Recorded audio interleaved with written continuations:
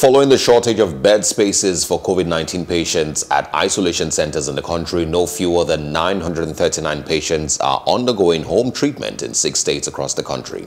The states include Ogun, Bayelsa, Katsina, Oyo, and Osun State. The President, Presidential Task Force on COVID-19 at its briefing on June 11 said 80% of COVID-19 patients were being managed outside isolation centers due to shortage of bed spaces at the isolation centers. It noted that government was considering home treatment for some patients, especially cases that could be managed outside the centers.